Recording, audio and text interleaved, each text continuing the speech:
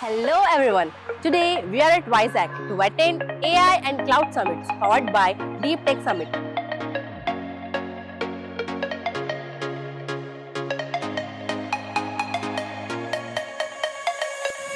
This summit mainly focuses on the generative AI. It taught us about the applications of generative AI in the business and students' future. We have met with different directors from various companies. They talked about the applications of generative AI in their business and also the change in the expectations from the startups or freshers.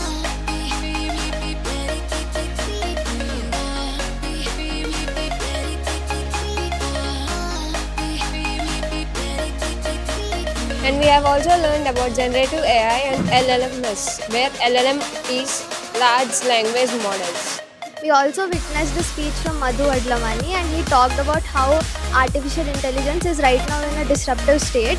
But with this disruption, more opportunities will be presented for artificial intelligence sector.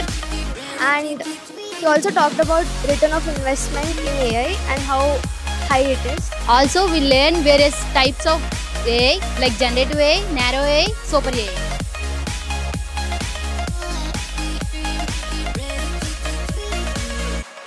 Uh, here in this summit, uh, around 12 company head HRs has came here, and few of the students have asked that uh, there is a recession is uh, continuing in this year and the next year also. But the thing is, uh, the HRs straight away uh, reply is there is no recession.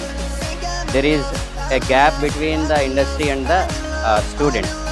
So we have to skill up your skills by using of AI and ML, and there is a huge scope in the industry. The key outcome of this summit is that, as most of the people think that the market is in recession, but the truth is there are much more opportunities waiting for you.